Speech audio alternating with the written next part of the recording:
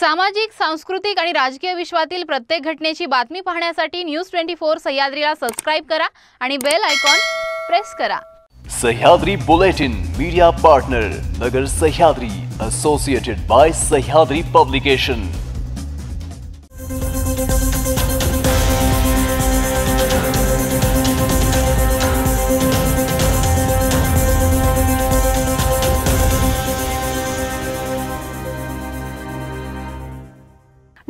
होती आपण पाहताय news twenty four Sahyadri. Sahyadri bulletin. या बातमीपत्रात तुमचं स्वागत. पाहूयात राज्यातील महत्त्वपूर्ण घडामोडी.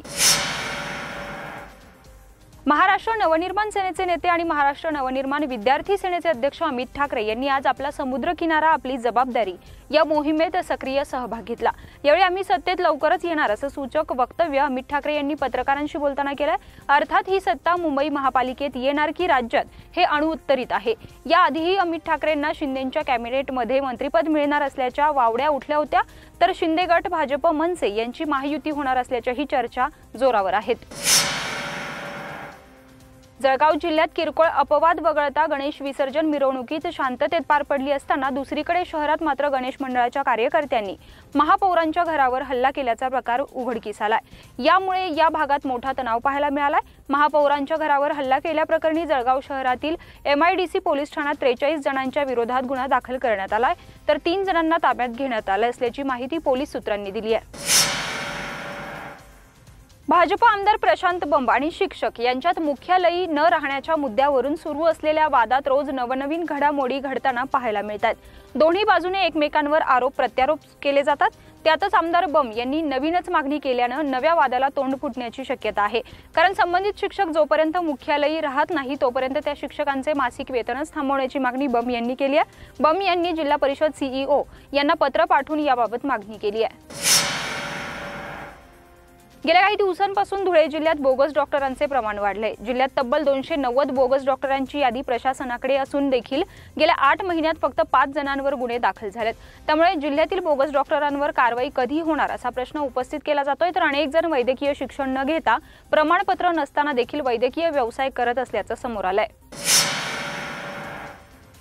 वर्धा जिल्ह्यात विधान परिषद सदस्य तथा आमदार रामदास आंबटकर यांचा दौऱ्यादरम्यान खास करून ग्रामीण भागातील प्राथमिक आरोग्य केंद्राला भेट दिली आहे. आणि सर्व प्राथमिक आरोग्य केंद्रांची त्यांनी पाहणी केली आहे व विचारपूस केली आहे. यावेळेस विधान परिषद सदस्य रामदास आंबटकर यांनी अल्लीपूर प्राथमिक आरोग्य केंद्रामधील गावातील रुग्णांसाठी विधानसभा सदस्य फंडातून प्राथमिक आरोग्य केंद्राला रुग्णवाहिका उपलब्ध करून दिली आहे. यावेळेस गावातील पदाधिकारी ग्रामस्थ मोठ्या संख्येनं उपस्थित होते. आपला दवाखाना आपली अँब्युलन्स आपले डॉक्टर आपले सर्व या दवाखान्याकडे तुमचीही लक्ष पाहिजे. विशेषतः आपले चंदनखेडे आपले इथले सरपंच जे आहेत त्यांना माझी विनंती आहे की आपण जातीने कारण ही कोरोनाची वेळ पुन्हा कोणावर येऊ नये. आणि अशी महामारी कधी या देशामध्ये पुन्हा येऊ नये. यासाठी आपण सजग असलं पाहिजे. आपलं आरोग्य व्यवस्थापन अतिशय महत्त्वाचं आहे आणि ते चांगलं असलं पाहिजे. अशा काळामध्ये इथल्या काही संघटनांनी मला म्हटलं होतं तर त्यामुळं आता ही सोय झालेली आहे. त्यामुळं आपल्या सर्वांना माझी विनंती आहे की आपल्याला हा दवाखाना चांगला करायचा आहे. अल्लीपूर हे गाव तसंही वर्धा जिल्ह्यातल्या ठळक काही वैशिष्ट्यापैकी एक गाव आहे. आणि या गावामध्ये चांगलं वातावरण राहावं सद्भावाचं वातावरण राहावं.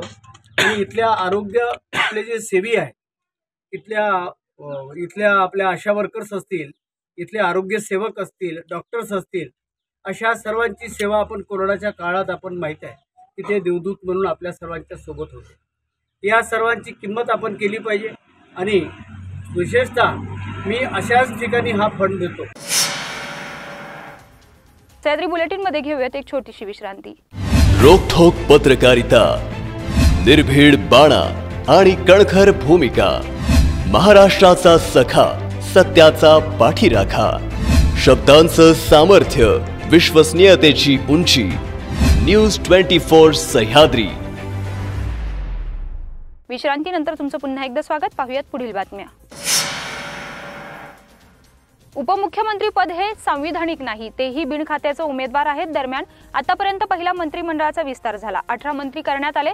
दुसरा मंत्रिमंडळ का करत नाहीत? ते सरकार पडेल या भीतीपोटी करत नाहीत. सरकार पडलं तर आमचं काय? म्हणून ह्या विषयावर जनतेचं नुकसान झालं तरी चालेल. सत्तेमध्ये बसून राज्य कसं विकता येईल याच्यावरच राज्य सरकार काम करत आहे. दुसरीकडे महागाईच्या विषयावर हे सरकार बोलायला सुद्धा तयार नाही. यासह अनेक मुद्द्यांवर काँग्रेसचे नेते नाना पटोले यांनी सरकारवर हल्लाबोल केलाय. वित्तमंत्री जे आहेत निर्मला सीताराम यांनी सांगितलं की महागाईचा हा विषय हा राज्यांचा आहे. आणि कालपर्यंत हे विरोधी पक्षात होते त्यावेळेस हेच सांगत होते की राज्य सरकार काय करते आहे. आज महाराष्ट्र हे देशातलं सगळ्यात महागडं राज्य आहे. सगळ्यात जास्त किमती महाराष्ट्रामध्ये आहेत डिझेल पेट्रोल असेल खाद्यान्न असेल खाण्याचं तेल असेल या सगळ्या गोष्टी देशामध्ये सगळ्यात महागड्या राज्या महाराष्ट्रामध्ये आहे मग राज्यातलं सरकार आणि केंद्रातलं मंत्री त्यांचंच सरकार केंद्रामध्ये आहे. तर या महागाईच्या विषयावर हे सरकार मसुद्धा बोलायला तयार नाही. आणि म्हणून हे मलाई खाण्यासाठी या पद्धतीनं राज्याची बदनामी करण्यासाठी गुवाहाटीमध्ये जी काही बदनामी महाराष्ट्राची झाली महाराष्ट्राच्या राजकारणाची झाली महाराष्ट्राच्या जनतेची झाली त्याची यांना चिंता नाही. फक्त राज्य विकण्यासाठी राज्याच्या जनतेच्या घामाचा पैसा खाण्यासाठी हे सरकार काम करते जनतेसाठी करत नाही. आणि म्हणून मंत्रिमंडळाचा विस्तारही करायचा नाही आणि पालकमंत्री जिल्ह्यात नेमायचे नाही. हे लाईन आता भारतीय जनता पार्टीने घेतलेली आहे. दिवसेंदिवस राज्यात लंपी चर्मरोगाचा प्रादुर्भाव वाढत असल्याचं चित्र दिसतंय. त्यामुळे पशुपालकांमध्ये भीतीचं वातावरण आहे. राज्यातील अठरा जिल्ह्यांमध्ये लंपी स्किन आजाराचा प्रादुर्भाव झालाय. या आजारामुळे गोवर्गीय प्रजातींमधील एकोणतीस बाधित जनावरांचा मृत्यू झालाय. दरम्यान लंपी चर्मरोगाचा वाढता प्रादुर्भाव रोखण्यासाठी प्रतिबंधात्मक उपाययोजना म्हणून संपूर्ण राज्य नियंत्रित क्षेत्र घोषित करण्यात आलं आहे. तर वाढत्या लंपी स्किनच्या प्रादुर्भावामुळे प्रशासन देखील सतर्क झालंय. नांदेड जिल्ह्यातील हिमायतनगर तालुक्यातील वाशीच्या जंगलात एका युवकाचा संशयास्पद स्थितीत मृतदेह सापडलाय. हिमायतनगर शहरात राहणाऱ्या बत्तीस वर्षीय पांडुरंग तोटेवाड या युवकाचा हा मृतदेह असल्याची ओळख पटली आहे या मृतदेह शेजारी अघोरी पूजेचं साहित्य आढळलंय. त्यामुळे मयत तरुणाच्या कुटुंबियांनी नरबळीची शंका उपस्थित केली आहे. त्यानुसार उपविभागीय पोलीस अधिकाऱ्यांकडून हत्येचा तपास करण्यात येतोय. मृतदेह आणि अघोरी पूजेचं साहित्य आढळल्याचा एक व्हिडिओही नांदेडमध्ये व्हायरल झालाय. या व्हिडिओमुळे अधिकच खळबळ उडाली आहे. नागपूर शहरातील सक्करदरा पुलावर भीषण अपघात झालाय. भरधाव कार अनियंत्रित होऊन दुचाकीला धडकली आहे ज्यामुळे दुचाकीस्वार पुलाच्या खाली फेकले गेले. या अपघातात दुचाकीवरील एकाच कुटुंबातील चौघांचा घटनास्थळीच मृत्यू झालाय. पोलिसांनी आरोपी कार चालक गणेश आढावला ताब्यात घेतलाय. दहा दिवसांच्या गणेश उत्सवानंतर आता गणपती बाप्पाला निरोप दिला जातोय. राज्यात ठिकठिकाणी मिरवणुका सुरू आहेत दरम्यान पोलीस प्रशासन आणि मंडळ. यांच्यातील नियोजन आणि समन्वयाच्या अभावामुळेच यावर्षी विसर्जनाला विलंब झाला.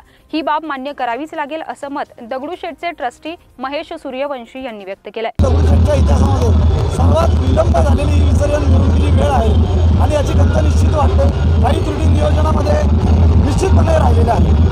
काय इतका विलंब पहिल्यांदा झाला इतक्या वर्षांमध्ये. एक जबाबदारी ही सामूहिक असते.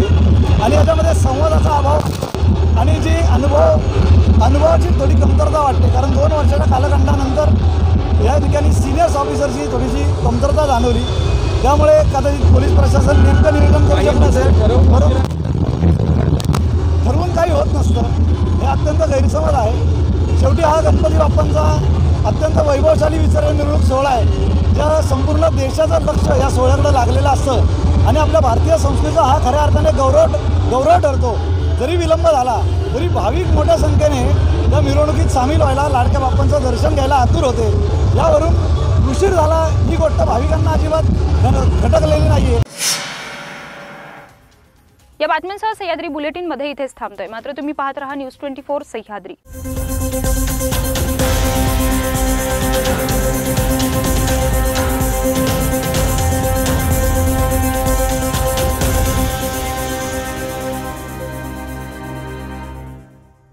शब्दांचं सामर्थ्य विश्वसनीयतेची उंची न्यूज ट्वेंटी फोर सह्याद्री.